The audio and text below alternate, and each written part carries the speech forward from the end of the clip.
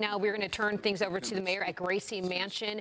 Uh, he's going to be addressing the media regarding the resignation of Police Commissioner Edward Caban. So, Let's listen in. Every member of the administration knows my expectations that we must follow the law.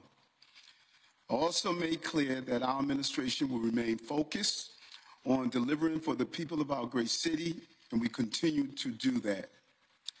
A short time ago, I accepted the resignation of the NYPD Commissioner, Edward Caban. He concluded that this is the best decision at this time. I respect his decision and I wish him well.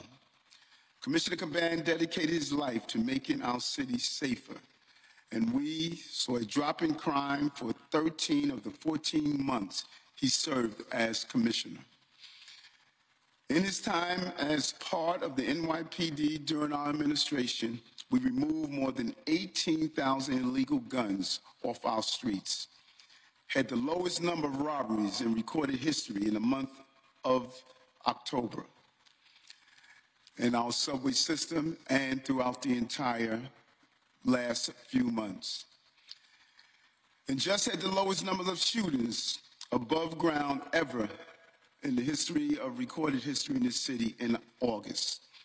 To ensure crime keeps going down in our city today, I'm taking immediate action in appointing Tom Donlon as interim police commissioner.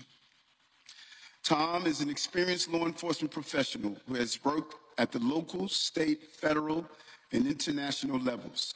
He served as New York's director of the Office of Homeland Security, ran the FBI's National Threat Center and the FBI NYPD Joint Terrorist Task Force and worked as the cold case agent investigating the 1993 Twin Towers bombing, as well as the attacks in U.S. embassies in Africa and the USS Cole in Yemen by Al Qaeda. He is also a Bronx native. Tom joins a team at One Police Plaza that is relentlessly dedicated to public safety and protecting New Yorkers. That is why New York is the safest big city in the world and why it will continue to be.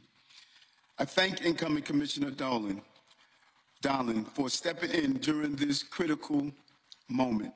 As always, the men and women of the NYPD have my gratitude for their dedication and professionalism. I thank them for their command and their decision making as we move forward, and for continuing to service that they deliver to all New Yorkers. Thank you, and God bless our great city and the bright future ahead. Thank you.